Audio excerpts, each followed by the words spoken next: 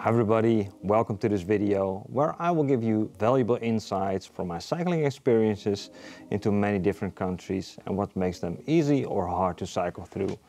To be clear, with easy I mean enjoyable without vast bicycle touring experience. And hard doesn't mean unenjoyable, but in a general sense requires more skill, experience and in cases cultural knowledge. In fact, harder can be highly rewarding because of those challenges. Instead of me summing up all the countries on a scale from easy to hard, I will try and break down the essence into different aspects on what makes a country feel a certain way and use my experiences as examples. Let's take a look at culture first. An immense diversity of perceptions and actions in place and through time. And with all things combined, we find ourselves living in a reality we might never come to understand. And yet, this imperfection shapes and drives a richness in culture that makes for such an incredible world to explore. The first thing that stands out when entering a country is probably the language. Depending on your particular language skill, you might be a complete beginner. We experienced that in the majority of countries we visited. Especially where the language is further from our roots, it's harder to get our head around. For us, that was in places like Southeast Asia and Japan. It's not that difficult to learn some basics and the locals will almost in all cases react with a smile if you try and speak a bit of their native tongue. It's one of my favorite things seeing people's eyes light up when greeting them or asking a simple question. However, it's definitely hard in that case to have an in-depth conversation and as such you will miss a deeper understanding of what moves people in their lives. Being fluent for me is personally such a huge plus. I love chatting with the locals and have interesting discussions about all kinds of topics. Great Britain stands out as a place where we had the most amazing conversations with random people. It makes everything so much easier from simply asking for a place to sleep to discussing philosophical theories. That's your thing. It's one of the big pleasures and a big reason why I think travel is so amazing. Religion is an important factor that influences the way the locals shape their culture, from big ideas about how life originated to smaller daily rituals. In many places, religion infuses a very distinctive rhythm and atmosphere. The mosques in Turkey, for example, that call to prayer five times a day. It's a very specific presence in everyday life. Definitely a thing we had to get used to, especially when being woken up in the very early hours. Where things got a bit more personal was when Mahdi was mandatory to wear a headscarf in Iran. It was a partial sacrifice of her freedom to wear what she normally likes, or in this case even putting on something extra. Also long sleeves were highly advised for men and women. This is a sensitive subject and should be taken seriously by anyone wanting to visit.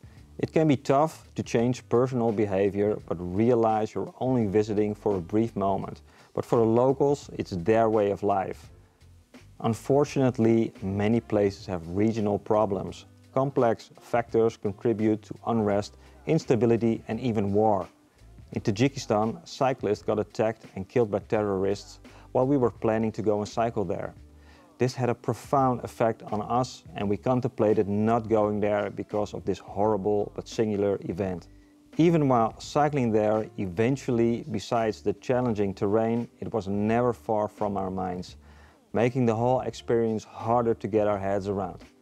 Bad things happen everywhere and it's essential to be mindful of what's happening in broad strokes and adjust accordingly depending on the severity of the situation. From deserts, humid jungles, arctic winter and everything in between, a country's climate will dictate how you prepare. Even within the borders there can be lots of variations, so it's key to see all variables on your route and let that be a guide in your gear choices and mental preparation. Most often we experience the weather as being quite okay and life outside is fairly straightforward and enjoyable. There are some specific situations though where getting things done is harder or even dangerous. A hot climate will often bring lots of heat and intense sun, which presents several risks. In the deserts of Oman and Morocco it was hot even when we're there outside of the summer months. Sunburn can be a real danger and throughout the years we have learned to protect ourselves better and better. With heat often comes the possibility of dehydration and typically water is scarce in desert environments. You tend to sweat a lot to cool the body down and water becomes an even more important commodity to plan for and secure within your itinerary. Finding shade can be a problem in wide open areas. Couple that with dehydration, sunburn, hypothermia, the body overheating, and things could eventually lead to a fatally dangerous heat stroke if not diagnosed and treated adequately. There's pure magic to experience in the desert, but it can be one of the hardest places to deal with the raw elements if things go sideways. If there's one aspect of the weather I love and hate almost equally, it's the cold. It often brings the beauty of a landscape to a whole other level when graced with the beauty of snow and ice. Also, pretty frequently the weather is just nasty and the cold makes you wish for a cozy place inside next to the stove. Everything becomes much more challenging in the cold. From icy rain, frozen water and bike parts to more serious matters like frostbite and hypothermia or the undercooling of the body's core temperature. But with proper preparation, it can be highly rewarding to being able to stay out comfortably in such conditions. In most cases, the weather changes from season to season, so it's hard to pinpoint a specific country to being cold outside the specific regions like the Arctic. Moisture falling in the form of rain, hail, snow is one of the more regular and tough things to deal with. Just like the cold, it's often dependent on the season, how much precipitation is expected to fall. In warmer months, Generally, there is less volume and it's easier to deal with. The warmth of summer means things dry easier and you feel less uncomfortable and it can even be a welcome change to the heat of the day. On the other hand, the warmth can create unstable weather patterns that can cause massive summer rains accompanied with thunderstorms. We experienced that in Bosnia and Herzegovina and Cambodia, Quite scary actually, and certainly a thing to keep an eye out for. A cyclist nemesis or best friend, the wind can break or make a ride. When at the back it's a joy, but full on non-stop headwind is like climbing a mountain that isn't there. It's frustrating to say the least, and in our experience it was never more true than in Iceland. A local even told us that the naming of Iceland was wrong and should be called Windland as it seemingly never stops blowing there. We had a couple of our toughest days with a full-on headwind in the West Fjords. The wind blowing constantly over your ears makes it extra draining as the loud rustle is a whole other thing to deal with. Luckily, we can say that for the vast majority of our travels, the wind has been very mild in general. I hope that this has some promise for the future. From mountain to sea, it's a tiny sentence that encapsulates all the surfaces on Earth we ride on. Completely flat or steep frozen mountainous terrain and everything in between. There is possibly no easier country to cycle than my native home of the Netherlands. Seeing anything that resembles a hill is a sight to behold. Netherlands literally means lower countries and as such is ideally suited to ride a bike. Combine that with perhaps the most excellent cycling path network in the world and it's no wonder there are so many bikes here. Contrast that with a place like Tajikistan. Big natural scenery where people live deep in the mountains, getting increasingly more sparsely populated the higher you climb. There are many different topographies and countries can have a multitude of zones associated with them, making cycling more or less straightforward. Deserts, jungles, plains, mountains among others all have their challenges and rewards. What can set them apart is the amount of resources poured into making roads to ride on. In Japan we cycled a part of the island of Shikoku, still a pretty wild feeling place with lots of steep forested mountains. It was amazing to see to what lengths the Japanese have gone to build and maintain asphalt roads to an almost perfect degree.